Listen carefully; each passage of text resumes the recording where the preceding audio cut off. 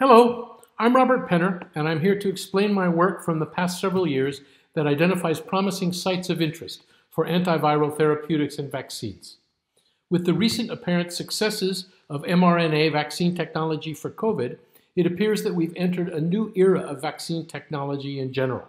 And it seems clear that in this era, it is not so much the delivery or toxicity of potential vaccines that dominates development, but rather the identification of appropriate target epitopes so that the delivery of messenger RNA can elicit immune response. And it is to this purpose that my methods are specialized. For COVID, it seems that the RBD or receptor binding domain is a viable such target, for instance, in the BioNTech Pfizer vaccine, while it is a stabilized mutant of the entire spike molecule that is targeted by Moderna. For other viruses, various targets, such as the FP or fusion peptide, could provide corresponding vital target epitopes. Or perhaps still other peptides critical for viral binding and penetration could be targeted. And this brings us to the importance of discovering RBDs, FPs, and other critical peptides in viral glycoproteins in the case of viruses where such peptides may not be known a priori, or there are not stabilized versions of the entire molecule available. Again, it is to this end that the methods I describe are focused, though I shall concentrate at the end on COVID as a case in point. My method is based on analyzing protein backbone geometry in order to target regions primed for large conformational change. It depends upon a database compiled from the Protein Data Bank, or PDB, and the method arises from first mathematical principles. The underlying mathematics is easy to explain, and it is here that I shall begin. A protein is the concatenation of its peptide groups along its backbone, as illustrated here, somewhat simplistically since we do not fully represent amino acid residues. The backbone is the zigzagging repeating sequence C alpha, CN, C alpha, CN, C alpha, and so on, where C stands for carbon and N for nitrogen, and these participate in a so-called peptide bond. Only the alpha-eth carbon atoms, C alpha, of the constituent amino acid residues lie in the backbone, which runs on for dozens, if not typically hundreds or even thousands of such units. A peptide group is the collection of six atoms, C alpha, CN, C alpha, in the backbone, together with the oxygen O bonded to C and the hydrogen H bonded to N, as pictured.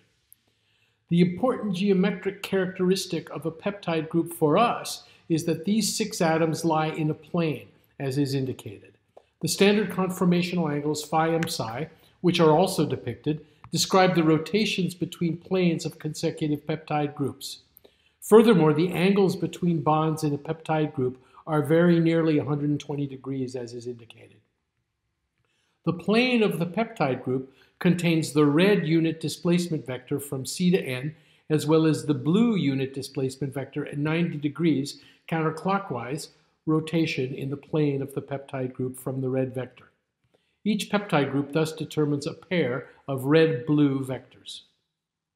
This is the first main mathematical point, that a peptide group determines a pair of red-blue vectors. The NH and CO in one peptide group can participate with the CO and NH of another peptide group through hydrogen bonding, with donor N and acceptor O, as depicted here still with our color scheme of red-blue vectors, but now labeled XY, as well as their usual cross product labeled Z, and the planes of the peptide groups indicated in gray.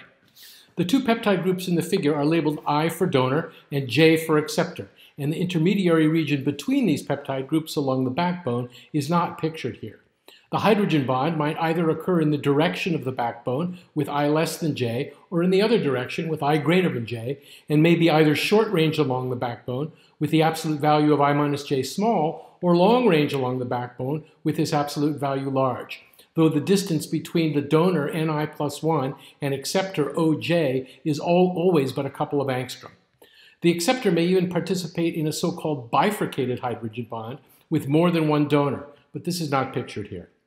Suppose that the two peptide groups participate in a hydrogen bond, called a backbone hydrogen bond, or BHB for short.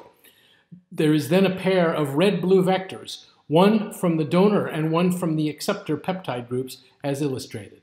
For any pair of pairs of such red-blue vectors, there is a unique rotation of space carrying the first one to the second one. As I indicate here with my primitive visual aid, you simply first rotate the first red vector to agree with the second one, and then rotate the first blue vector around the line that now contains both red vectors until the blue vectors also agree. So for any BHB with its pair of pairs of red-blue vectors, there's a corresponding rotation of space.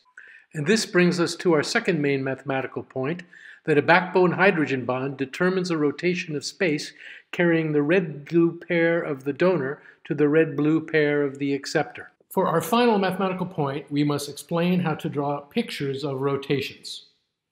And it is easy. A rotation is determined by a line, its axis of rotation, together with the amount in radians of rotation about it. Call it theta. So theta lies between minus pi and pi.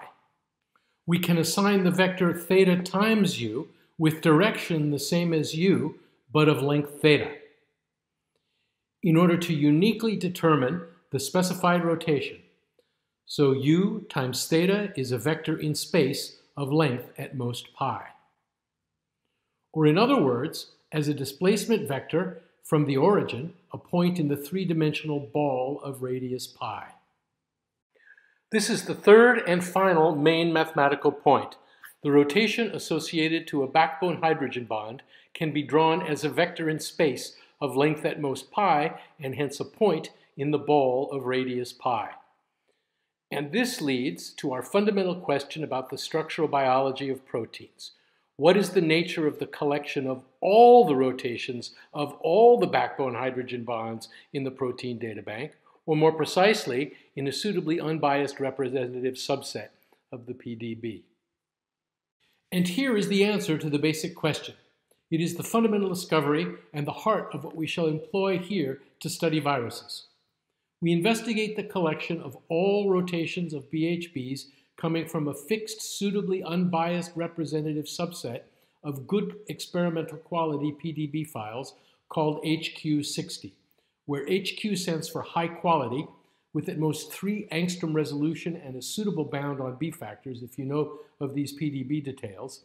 And the 60 indicates at most 60% homology identity of representatives as determined by Dunbrack Labs Pisces software.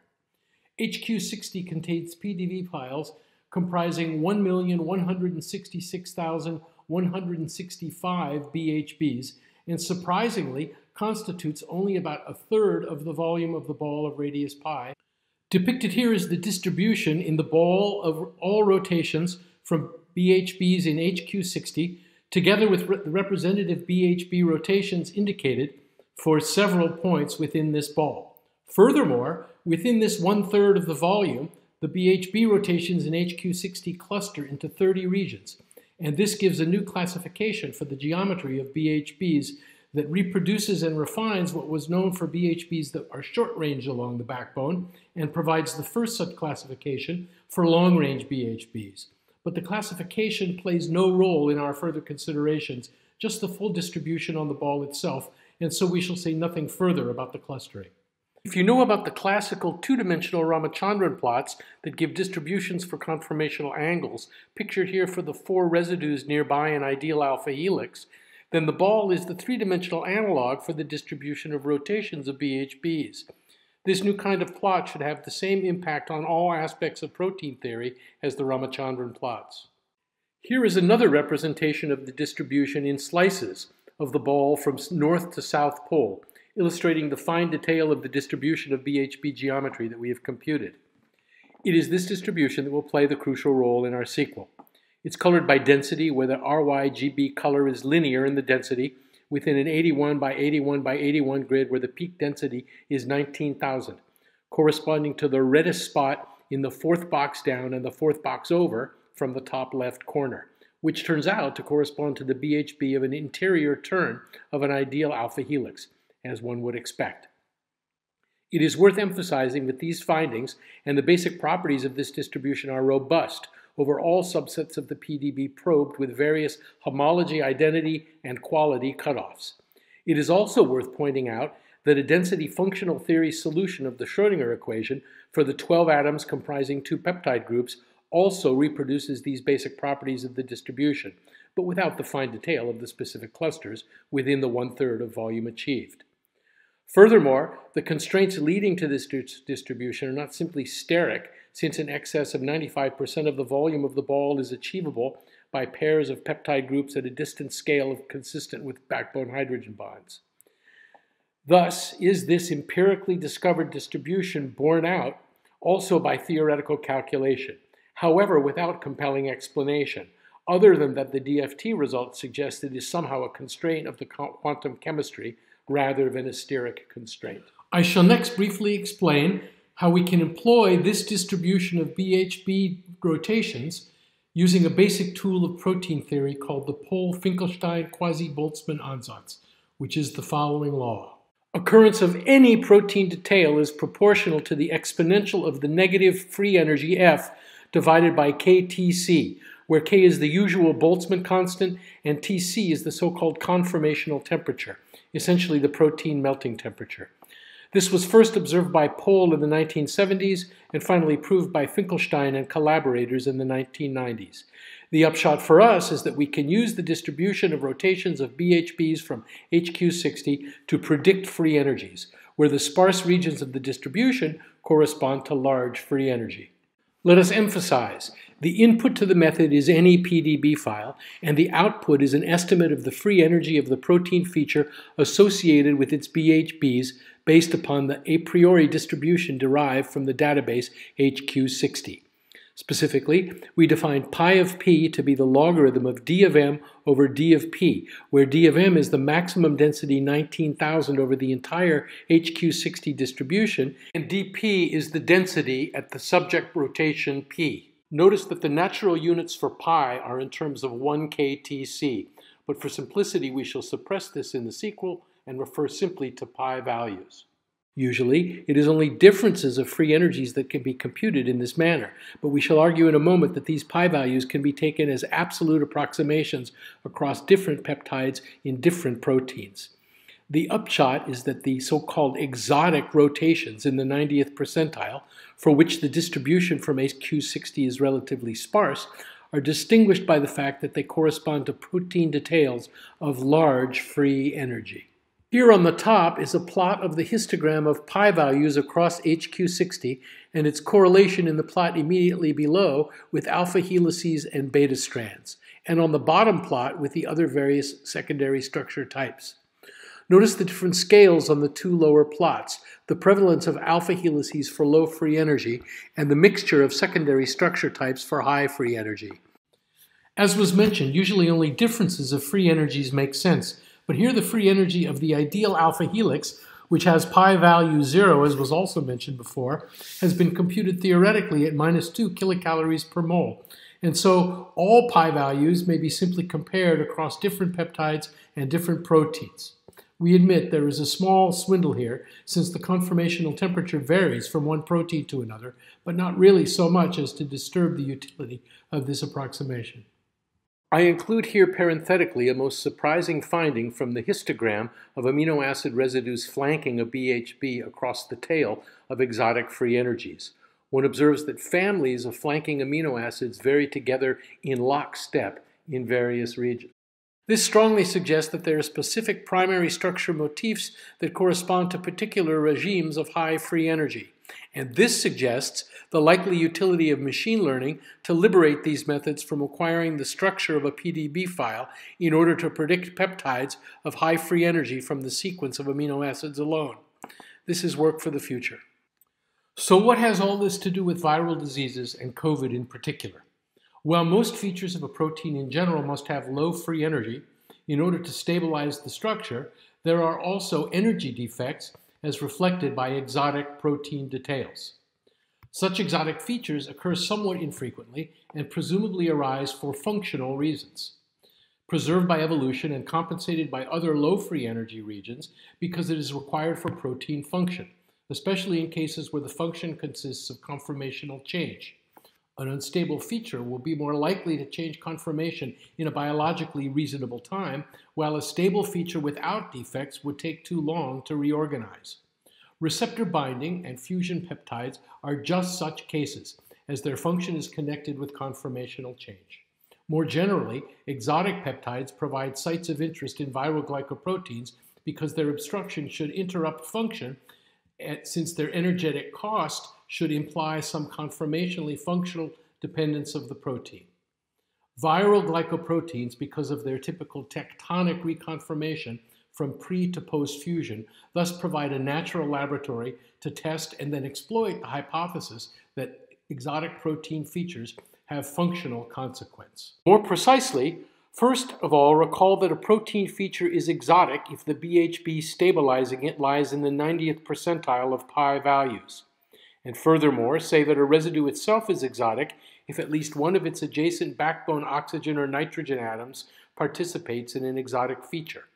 And finally, say that a residue is conformationally active if at least one of its conformational angles changes by at least 180 degrees.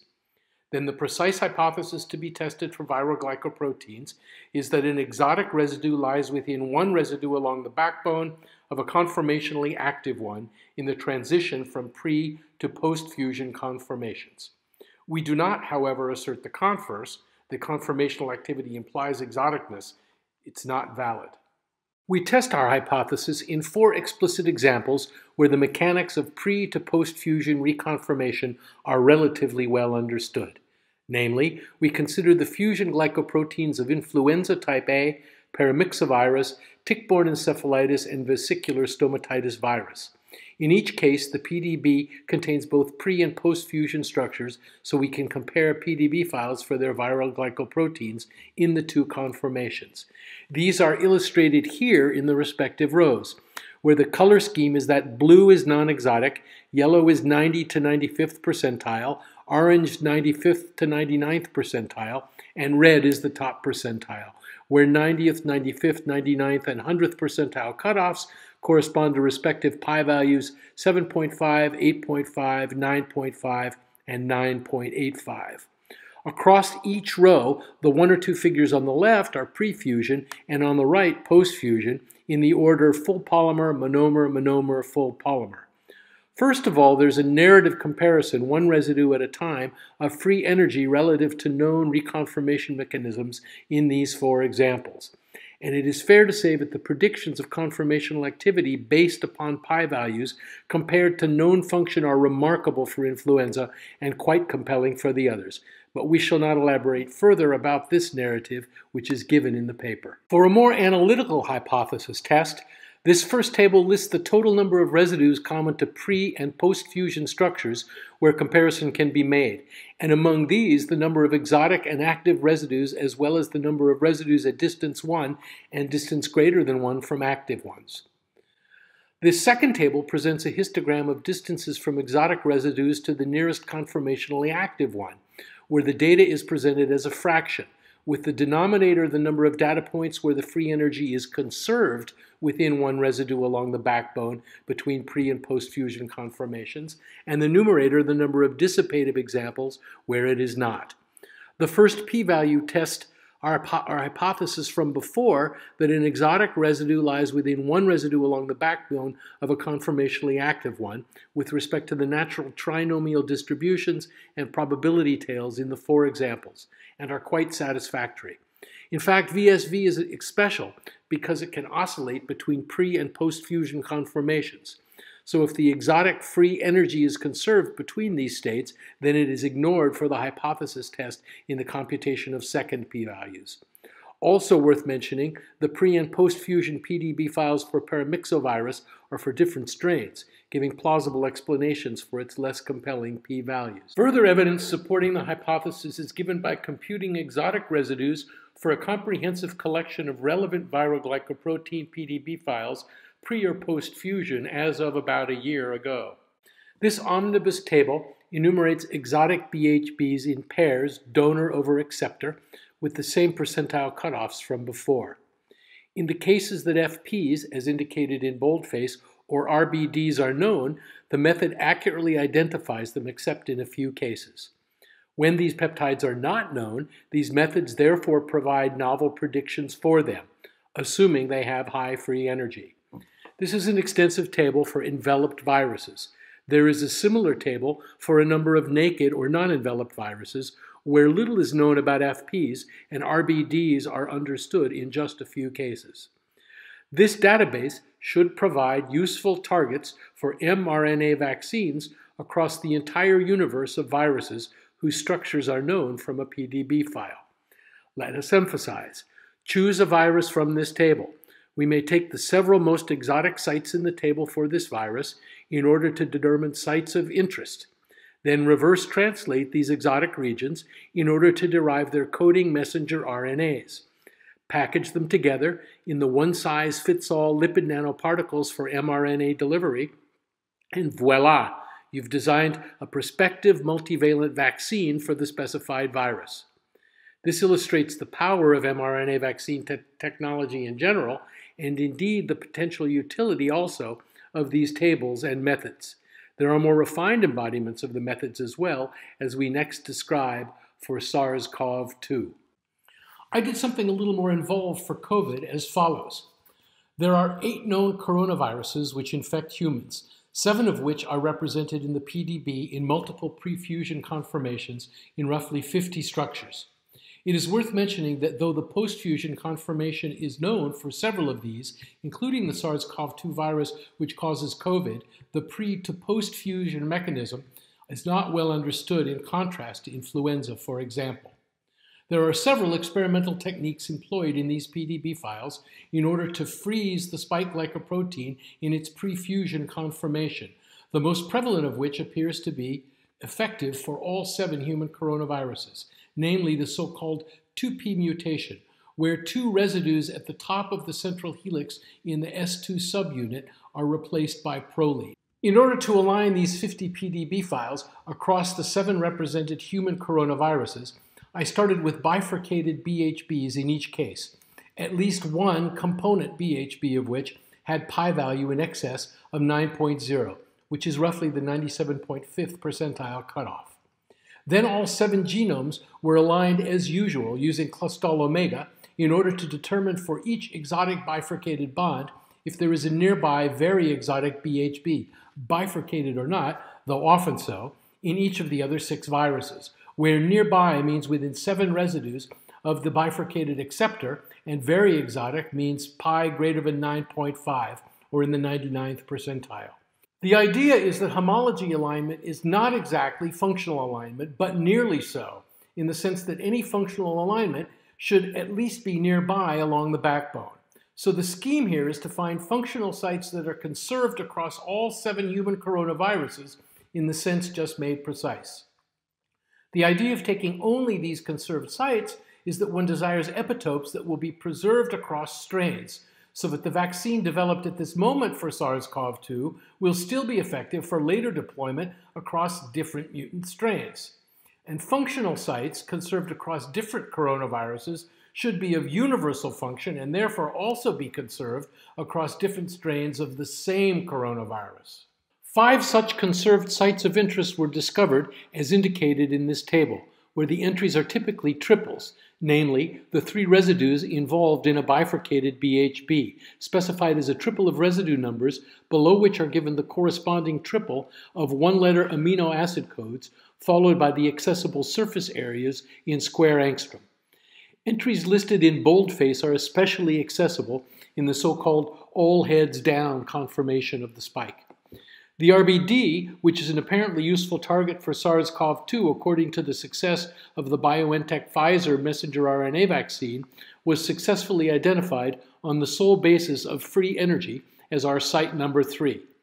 Note that the table provides analogous targets for all the human coronaviruses at once, even though different peptides, so different potential mRNA vaccine targets, are indicated in each case.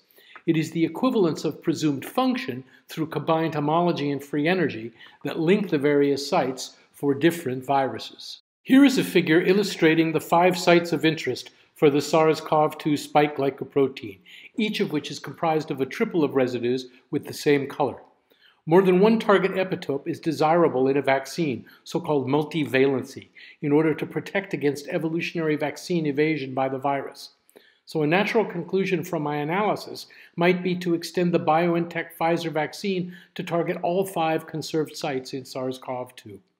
The Moderna vaccine skirts the issue of targeting specific peptides by delivering the mRNA for the entire spike, relying, however, on the spike being stabilized in its pre-fusion conformation by the 2p mutation. The AstraZeneca Oxford vaccine relies on another approach entirely, delivering the native spike without any stabilizing mutation in a replication incompetent adenovirus. Our methods thus arise from first mathematical principles, leading to sites of interest as potential antiviral targets. mRNA vaccines can directly be engineered to such sites, so our methods go hand in hand with these breakthroughs in vaccine technology. Not only in cases where knowledge of promising epitopes is not otherwise available, but also, for example, for robustness against mutation. As in our approach to SARS-CoV-2, we hope these methods may provide a useful tool going forward. I think you can say we've been lucky with the Moderna and BioNTech Pfizer mRNA vaccines. First of all, delivery and cellular uptake are successful using lipid nanoparticles. For the former vaccine, there is this 2p prefusion stabilized mutation patented in 2016, without which the whole spike approach might not have worked. And for the latter, the RBD for SARS CoV 2 was known in analogy to its cousin SARS CoV 1, but for the next viral outbreak, where such stabilization or a priori data may be lacking, my methods already provide multivalent targeting as evidenced by the extensive tables. More generally, my method predicts function from structure, the tertiary structure of a PDB file in its current embodiment, and potentially from the primary structure alone using machine learning as was mentioned before. It is thus a tool of greater utility in structural biology than only vaccine development. In particular, the technique employed for human coronaviruses of supplementing homology alignment with free energy alignment in order to infer functional alignment is also of potential greater utility. With that, let me close by giving references for the work we have discussed. First is the text on proteins by Finkelstein and Petitson, an absolutely marvelous book starting from first principles. Next, a preliminary math paper from 2010 that discusses the topology of protein and then the Nature paper from 2014, which introduced and computed the distribution on the ball of all rotations, which we have discussed, and furthermore, studied the clustering of the BHBs.